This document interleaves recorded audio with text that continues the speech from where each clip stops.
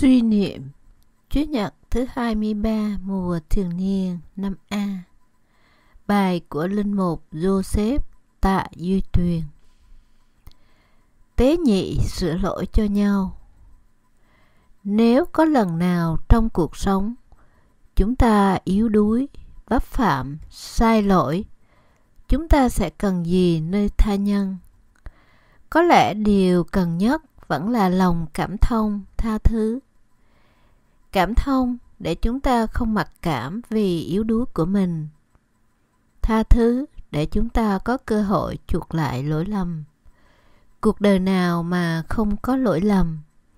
Vì nhân vô thập toàn, khiến con người vẫn luôn cần lòng thương xót của tha nhân chính lòng thương xót ấy sẽ rửa dậy và giúp đỡ nhau làm lại cuộc đời trong chuyện của học Tân Hoa có kể rằng, sau khi thắng trận, sở trang vương mở đại tiệc khao tướng sĩ để thưởng công lao và lòng trung thành. Vua truyền cho các cung nữ của mình ra hầu tiệc. Đang ăn, bỗng một trận gió làm đèn đuốc tắt hết. Lợi dụng bóng tối, một quan đại phu ôm chầm lấy người đẹp đang chuốt rượu cho mình và hôn.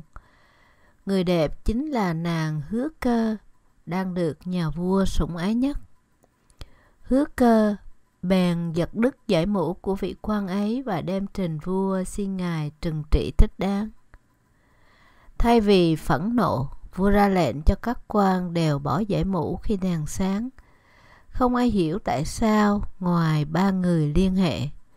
Sở vương nói, trong nguy biến, các quan đã liều thân vì đất nước. Khi vui say, các quan quen lễ phép một chút, có sao đâu. Lẽ nào vì một chuyện nhỏ mà quên đi lòng hy sinh cao cả của người khác? Hai năm sau, nước sở đánh nhau với nước tần đánh luôn năm trận mà trận nào cũng chỉ là một viên quan võ liều sống liều chết xông ra phía trước đánh rất dũng cảm làm cho quân tần phải lui binh. Nhờ vậy quân sở đại thắng. Sở trang vương lấy làm lạ bèn hỏi trẫm đại khanh cũng như mọi người khác cứ sao khanh lại hết lòng giúp trẫm như vậy?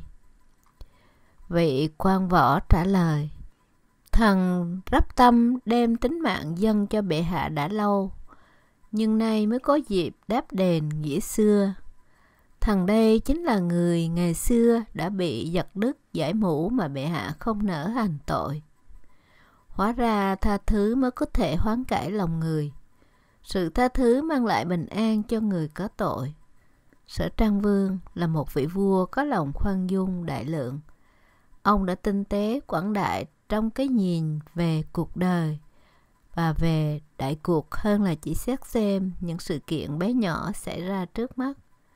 Ông đã biết vượt qua cái tôi ích kỷ hẹp hòi của mình để chỉ nhìn thấy cái tốt nơi người khác.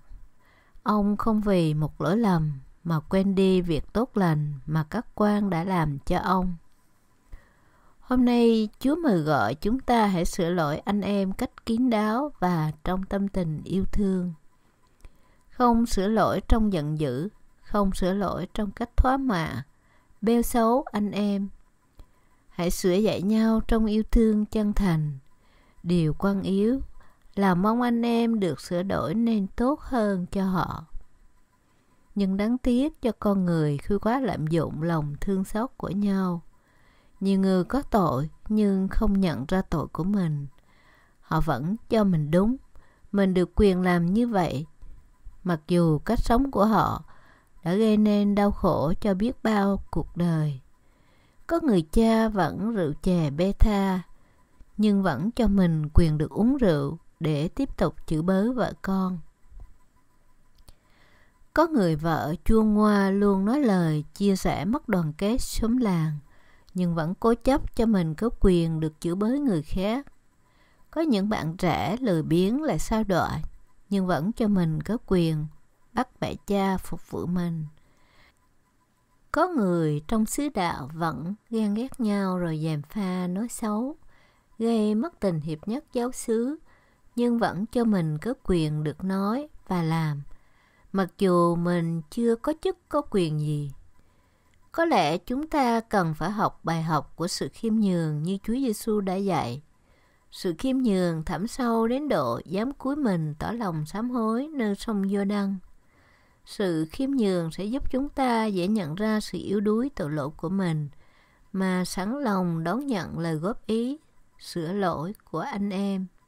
Vì kẻ dám chê ta mới thật là thầy và là bạn ta, còn kẻ nịnh hót, tăng bốc ta chỉ làm hại cuộc đời ta.